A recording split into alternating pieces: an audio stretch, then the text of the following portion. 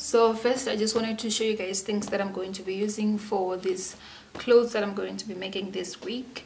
Uh, first thing first is the fabric. I'm going to be using this beautiful shwe shwe fabric.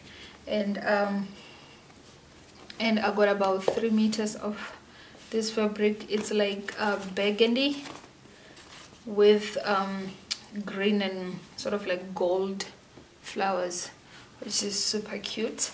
And yeah i got about three meters.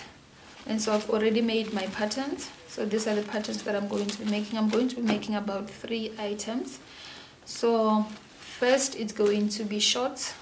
Here is my pattern for the shorts. I have um, the pocket which can fold.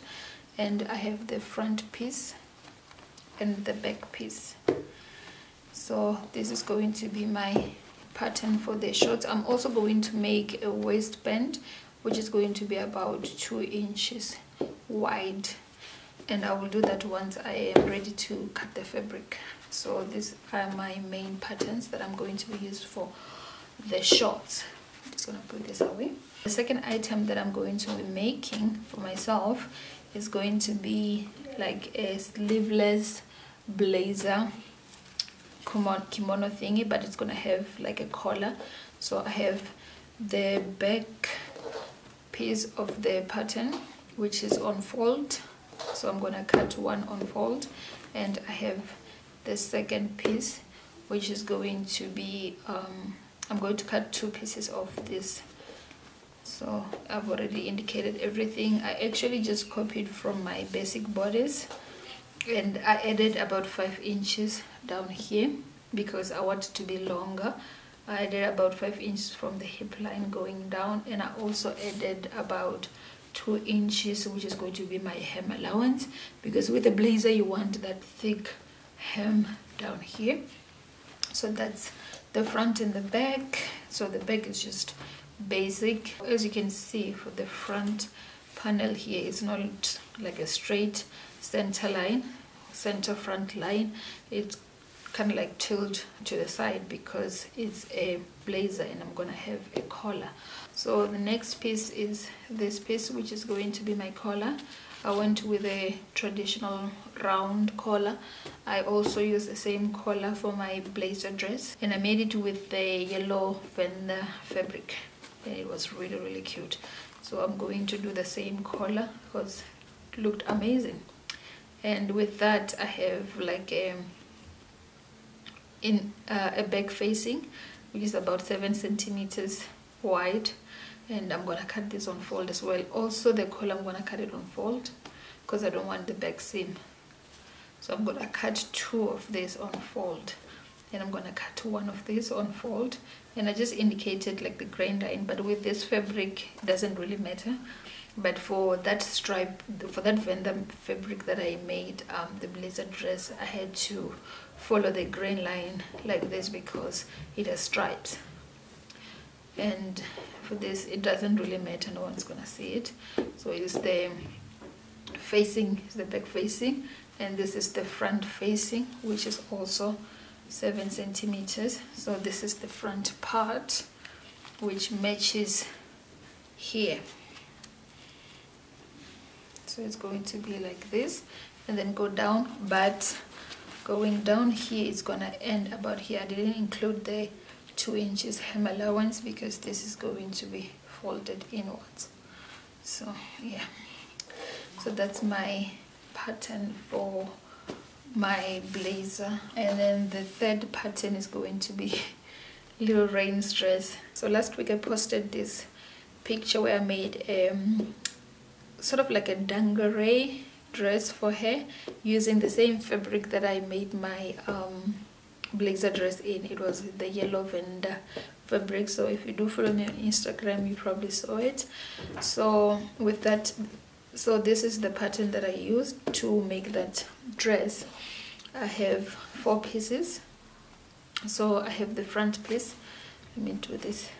I have this front piece, which I'm gonna cut two of them on fold. So I'm gonna cut two of these one fabric and one lining. I'll probably use like a black lining. It's going to be this lining. I'm to use like a black lining um, for the top. This is the back piece which is also to be cut on fold. So it's going to be on fold here. I indicated the fold line.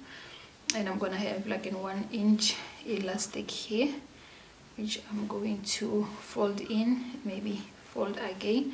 So I'm gonna insert like an elastic here which is this one here. I'm gonna insert the elastic here and I think I measured about 8 inches for hair or less. I'll, I'll show you when I sew. So this is the back piece and this is the front piece which is going to be attached to the front bodice so and this is also going to be cut on fold but with the front piece i'm not going to insert the elastic i'm going to gather the skirt here on top so that it fits this and this. So this is about the same size. And i also have like a strap which I'm going to also cut two of them and I'm going to cut it on fold. But with the strap I'm going to resize it because I'm going to use these little plastic um, buckles. Last time when I made this dress I used like a metal buckles and I found that it wasn't comfortable especially for the baby. It, I kept on looking at her thinking maybe it's gonna scratch her or anything but it was like a trench coat buckles so they were for adults. I'm going to use these little plastic ones this time. So with the belt i'm probably gonna cut it. I'll measure with the buckles actually. And then i first cut about this long and then i'm also gonna cut maybe about two inches of the belt to attach the buckles on the front pieces on the front piece actually somewhere here. This is the buckles i'm going to use for a dress and i have a zipper that i'm going to insert on my shorts. I actually have two zippers.